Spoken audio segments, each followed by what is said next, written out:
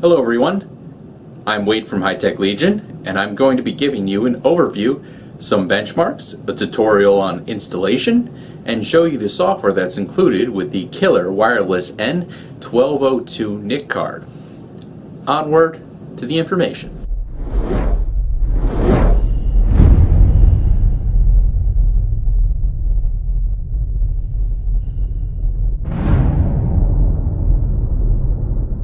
So as I said, what we are looking at here is the Killer Wireless N1202 NIC card. It is a mini PCI Express card and is a half height. So it'll fit in most modern laptop configurations. Although, like again, it is really only available as a laptop upgrade. And so you won't be able to really purchase it in a store but if you're considering an enthusiast level gaming laptop or uh, other model that might offer the killer card as an upgrade, it's something to consider. The specs on the card are that it's dual band, so it supports both 2.4 and 5 gigahertz bands. It is 2 by multi-input, multi-output, so it can transfer two streams at a time uh, through the two antenna inputs. These right here, uh, the antenna, antenna inputs, and it has Bluetooth built into it. So being in a mobile world, you know, having that Bluetooth built into your laptop is nice. So if you want to quickly transfer a file, you don't have to pull your USB cable or your Apple cable out and connect it into your PC and sync it just to get a file off of it because of the Bluetooth connectivity that you might have in your laptop. Some other things, of course, is that Killer has a bundled proprietary software, the Qualcomm Atheros Manager, Network Manager with it, which does application prioritization. So, say you've got a download stream and you're playing a game at the same time, the software will automatically adjust and lower the amount of bandwidth that that download's pulling so your game can still run smoothly.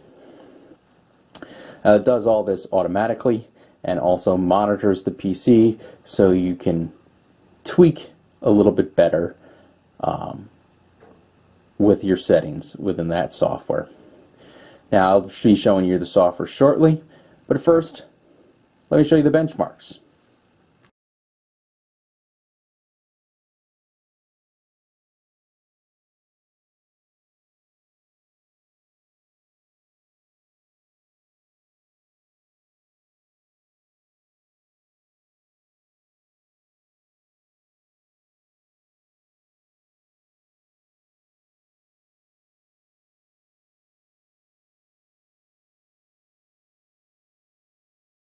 Here I'm going to show you the basic installation for this card. It's very simple to do. Um, this is a Dell E6410 laptop which comes off with a simple one screw and the panel slides off. Not all laptops of course are going to be that simple. As you can see what we have here are two uh, mini PCI Express slots.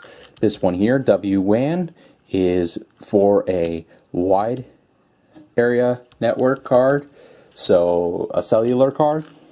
And this half height slot here is where the killer NIC is going to go.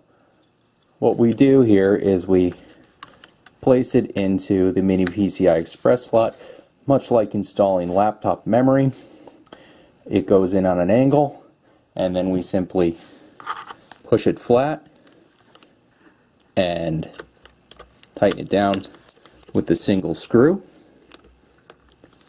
And then all we have to do here is attach our antennas to the spots on the wireless card and then make sure they're out of the way so that when we close the laptop back up we don't pinch the antennas because one of the things you don't want to do is clip the wire and cut it. Although in this case we have a spare, um, you don't really want to have to use it. That's how simple it is to install the mini PCI Express card into a laptop. Although, because this is an upgrade for most machines, you won't have to do this. Though eh, I, I feel like it doesn't hurt to know how to do it if you ever had to take it out of your machine. This is the software, the Qualcomm Atheros Killer Network Manager that is included with the Killer Wireless N1202 NIC. And on this first screen here, we have an overview uh, of the system showing system statistics as well as that under applications here that the bandwidth control is enabled in the software, our processes that are active and our inactive processes, and a quick graph of our bandwidth that's being used. Under the PC Monitor tab, we have a drop-down box which allows us to switch between several graphs, the internet bandwidth, uh, wireless signal strength, frames per second. If you have Fraps installed, it will link in with the PC monitor and you can track your frames per second current system memory usage, as well as the processor usage. All this can be cleared or saved to a log file with these buttons down here. And under the Applications tab, we have a listing of all the applications that are currently running on this machine. The gray boxes indicate the priority level, and as you can see, almost all of them are set to a level of 4, which is the default priority. This one that's set to priority 1 I clicked on earlier and changed to the highest priority. And you can do this with any uh, process that you'd like on here. If there's something in particular that you'd like to run and take the bandwidth up over any other program. If we uncheck this show running only box here we can see every process that was ever run with the software. All the grayed out ones are the processes that aren't open currently. We can also use this drop down box to sort by A to Z, Z to A, and based on upload or download speeds. And again, we have this total bandwidth graphing on this page as well. Under the Network tab, we get some more statistics for our wireless network connection. We can see that our transmit and receive speed are both at 130 megabits per second and the signal strength about 88%.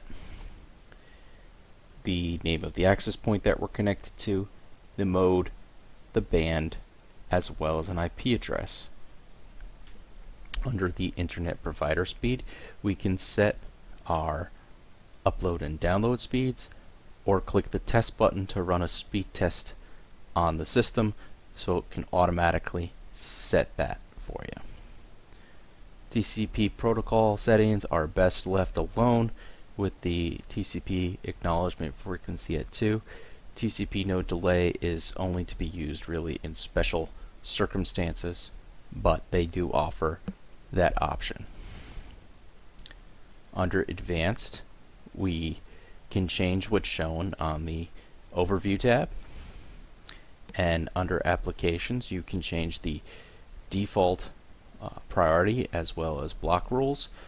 And the application control can be enabled and you can also reset the application data all the defaults. Under options, we have the show dialog on close, so it'll ask you whether you're sure you want to close this. Uh, enable gaming op optimization, which you most likely, if you're a gamer, you're going to want to do that. Auto updates will check for updates every time the program is initialized. Here we can change the bandwidth units to what you'd like to see on your graphs and whether PC monitoring is enabled.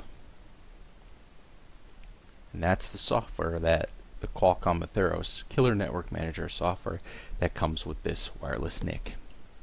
I hope you enjoyed this uh, overview and installation video uh, along with the benchmarks for this Killer Killer Wireless card. Please continue to watch our videos, and if you enjoyed this, please don't forget to subscribe to our YouTube channel, our Facebook, and our Twitter. Also, don't forget that in December 2012, we have a holiday giveaway contest going on on the HiTech Legion website where you can also see the full review www.hitechlegion.com. Enjoy!